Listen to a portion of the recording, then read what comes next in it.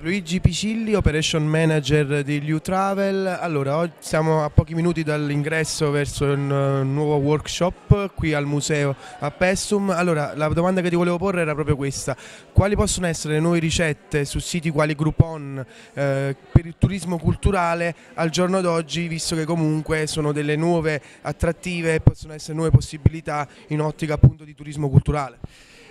Sì, sono completamente d'accordo, buongiorno a tutti, è davvero una bella sfida, provare a promuovere, a vendere beni culturali, attrattive naturalistiche, beni archeologici online su canali come Groupon, Groupalia che sono dei social shopping, che è una sorta di branca di quello che è il mondo dei social media, è una bella sfida come dicevo, eh, purtroppo non sempre eh, il cliente, l'utente che, che, segue eh, le nostre offerte riesce ad essere attratto dalla eh, particolarità dei beni che promuoviamo spesso serve promuovere qualcosa generando un appeal differente, mm, molto probabilmente vendere da soli beni culturali, beni architettonici non, non, non è sufficiente, è necessario generare un appeal diverso per attrarre soprattutto l'utenza giovane, quella che è completamente eh, disinteressata in questo momento al mondo archeologico e alle attrattive soprattutto del nostro territorio. Eh, sicuramente è un modo diverso di comunicare è da fare, è da, da prendere in considerazione con l'aiuto soprattutto del, degli enti pubblici pubblici, degli enti di promozione, in quanto da sola un'azienda privata non può sobbarcarsi